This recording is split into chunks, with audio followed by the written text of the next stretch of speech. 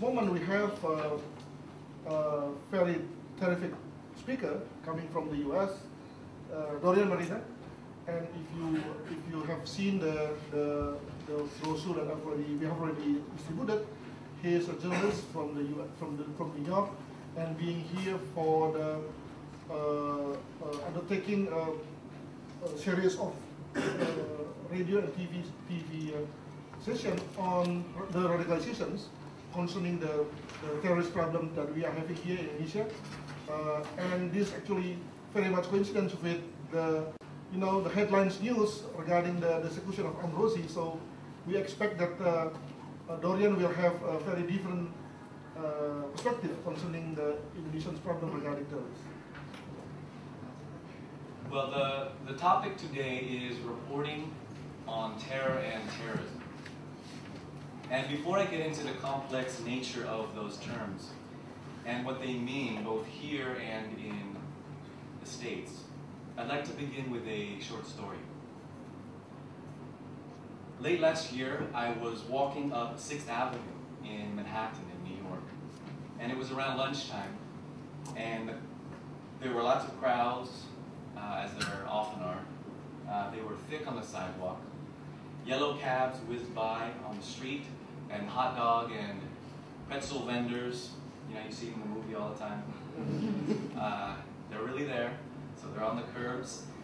And uh, just as I crossed 46th Street, a towering office building came into view. It was still under construction, and the sound of workers from high above echoed into the street. I tucked my head down and waited for traffic in order to cross the street. Just as I got to the other side, a loud crash came from behind me. Heads turned to look in the direction. Then there was another crash. And as we turned, we could see glass shattering into the street. A cab swerved to avoid the glass and slammed into another car. Other cars sped up on the curb. Another loud boom. The crowd turned on the sidewalk and began to run. I looked up to see large shards of glass and wood falling from the buildings high above, and people screamed and they ran. A woman in front of me fell to the ground, and I, I helped her up by the elbow. Along with another person, I helped the woman into a narrow doorway. People were running and screaming. After the woman was safe, I took out my notebook. I'm a reporter, so. And I turned around. I walked back to the intersection and I began to interview people. As it turned out, a huge construction bin on the top of the floor of the unfinished building had sprung loose and fell towards the ground. And as it fell, it slammed against the side of the building and it broke glass along the way. Thankfully, nobody was hurt in the incident. As I spoke to people, construction workers, office employees, cab drivers, nearly all of them compared the shock and fear that they felt to that of 9-11 or September 11th. Many of them said that their thoughts first turned towards terrorism. It was their first idea of what was happening. I bring up this story because I'd like to emphasize that reporting on terror and terrorism is not only reporting on broad government policies or state programs. It's not only reporting on terrorist groups, the groups themselves. It is also important to include the psychological and cultural aspects of terrorism in all its manifestations. Here we are, six years after the attacks on the World Trade Center, and people still retained the event firmly in their minds as a reference point and as a collective experience. In Indonesia, we are about that distance from the 2002 Bali bombings. And today, the consequences of that event are very much current, especially due to the executions, which I'll refer to later in the talk. It's also important to point out, I think, that 38 Indonesians some of them Muslims, were also killed in the Bali attacks, a fact that is often overlooked in international media accounts of the episode. So reporting terror and terrorism. If I'm to speak on this topic, I think it is important first to define what it is we mean when we say terrorism.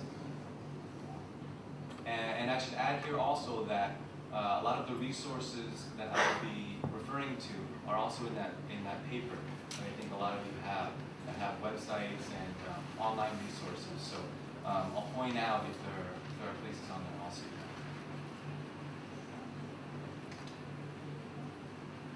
So what is terrorism? The political theorist Michael Walzer, author of Just and Unjust Wars, defines terrorism this way. He says it is, quote, the deliberate killing of innocent people at random in order to spread fear through a whole population and force the hand of its political leaders. End quote. This definition helps, I think, but it also brings up some problematic issues. First, one can say that terrorism targets innocent people. Unlike conventional warfare, men and women in uniform are not the focus of violence, but rather civilians. But who is innocent and who is to blame? In the Israeli-Palestinian conflict, for example, both sides call the other side terrorists. This makes things very difficult for journalists as we aim to present the most balanced and unbiased account of events. One American newspaper, the Minneapolis Star Tribune, began to call Palestinian militants suicide bombers instead of terrorists. Their decision, though, was strongly criticized by those in support of Israel. Some have even urged that the term suicide bomber be changed to homicide bomber because the act targets the killing of others. This example speaks to the exactness of language, and in journalism, the accuracy of words or images is central to our mission. Second, Michael Walzer's definition of terrorism describes the purpose of terrorism as an act done, quote, in order to spread fear through a whole population and force the hand of its political leaders. Because terrorist acts are designed by definition to be spectacles, to be seen, to be heard, and to be talked about, the media and reporters play a particularly significant role in the endeavor. A bomb attack is not just meant to destroy property or to take lives, as devastating as that can be. But it also sends a symbolic message to the public. And it creates a visual trace that can be played and replayed again and again, like the towers on September 11th. I'm sure we've all seen that image again and again and again.